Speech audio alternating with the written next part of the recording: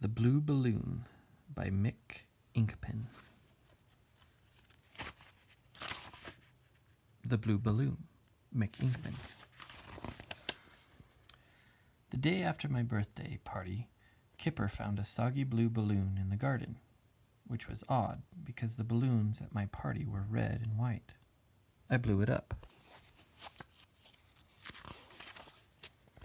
At first I thought it was just an ordinary balloon, but now I'm not so sure. It is shiny and squeaky, and you can make rude noises with it. And if you give it a rub, you can stick it on the ceiling, just like an ordinary balloon. But there's something odd about my balloon. It doesn't matter how much you blow it up, it just goes on getting bigger.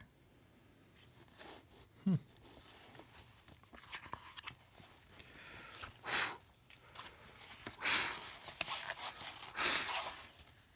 And bigger.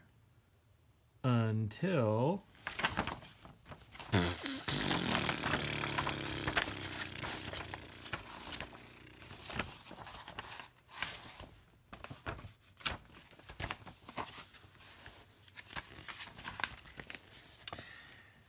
You see, it never ever bursts. Never ever. I have squeezed it, squashed it, and whacked it with a stick.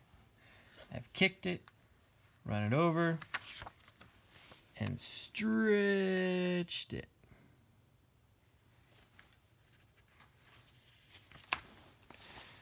And Kipper has attacked it, but it is indestructible.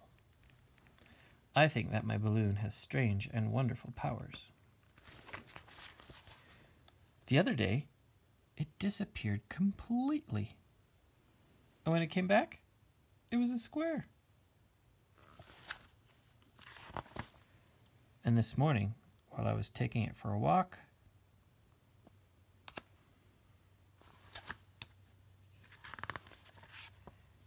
it decided to take me for a fly.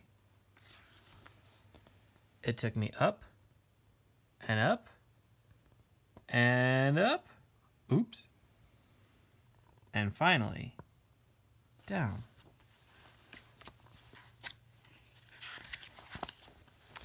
It was quite a trip, but we were back in time for tea. So, if you find a soggy old balloon, whatever you do, don't throw it away. Especially if it's a blue one. You never know what it will do next. The end.